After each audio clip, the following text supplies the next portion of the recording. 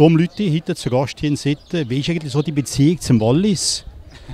Äh, es ist eigentlich schon eine sehr lange Beziehung zum Wallis, muss ich sagen. Also ich bin sehr, sehr äh, häufig in Verbier. Das ist ja nicht so weit weg von da. Ich bin wirklich im Winter, jeden Winter bin ich dort, auch im Sommer zum Teil. Ich habe Partnerschaften in Verbier und auch äh, mit einem äh, Immobilienbüro, das ich zusammen arbeite, das in Verbier ist, seit, seit eh und je eigentlich. Also ich bin relativ viel im Wallis. Und also gerne immer wieder im Wallis zu Besuch bei dir?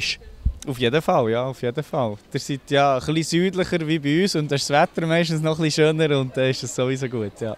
Heute hier bei einem Sponsorenanlass, Latesso, euer Sponsor. Äh, Was ist das für ein Getränk?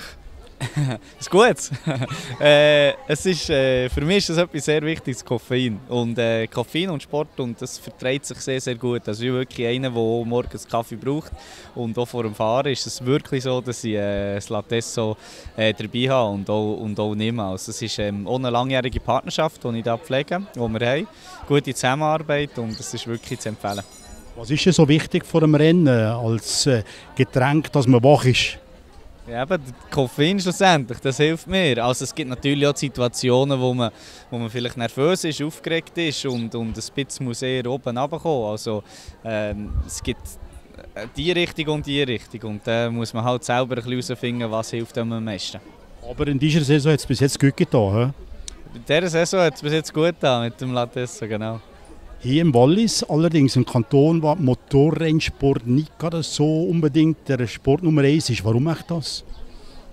Weil Skifahren vielleicht näher ist hier, ich weiß es nicht, es könnte sein. Äh, ich meine, es ist sowieso in der ganzen Schweiz nicht einfach als Motorradrennfahrer. Ähm, wir haben keine Rennstrecke in der Schweiz und das ist immer wieder ein Thema. Dadurch ähm, sind wir halt immer im Ausland unterwegs mit, äh, mit der Straße dürfen für auf diesen ganzen Rennstrecken. Und äh, in der Schweiz haben wir schlussendlich gute Presse, gute, gute, ähm, gute Medien, aber es ist schon immer ein bisschen Kampf, das ist richtig.